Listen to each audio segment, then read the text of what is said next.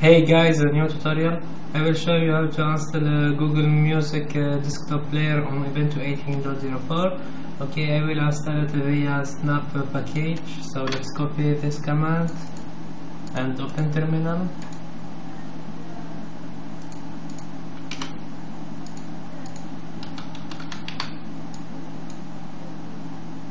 And start to download Google Play Music desktop player.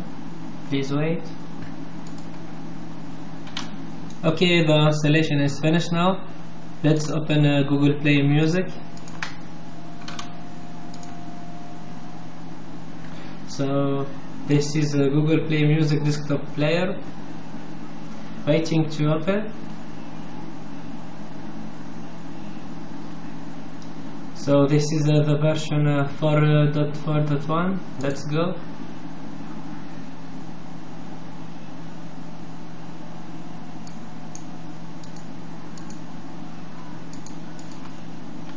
You must uh, log in so log in with your mail. Anyway you must uh, connect.